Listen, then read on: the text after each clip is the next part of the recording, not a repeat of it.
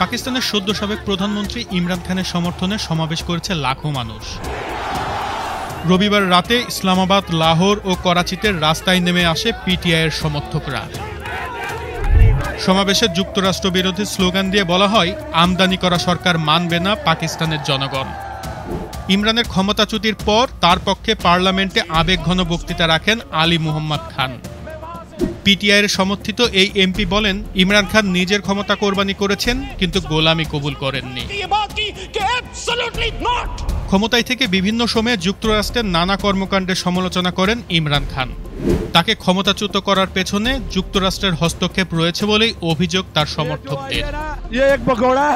পঁচাত্তর বছরের ইতিহাসে পাকিস্তানে কোনো প্রধানমন্ত্রী তাদের পূর্ণ মেয়াদ শেষ করতে পারেননি। তবে পাকিস্তানে এই প্রথম কোনো সরকার ক্ষমতাচ্যুত হওয়ায় এতটা উদ্বিগ্ন জনগণ।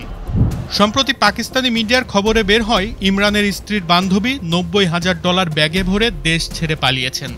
অন্যদিকে প্রধানমন্ত্রীর দৌড়ে এগিয়ে থাকা শেহবাজ শরীফের বিরুদ্ধেও রয়েছে সাতশো বত্রিশ কোটি রুপির মানি লন্ডারিং মামলা।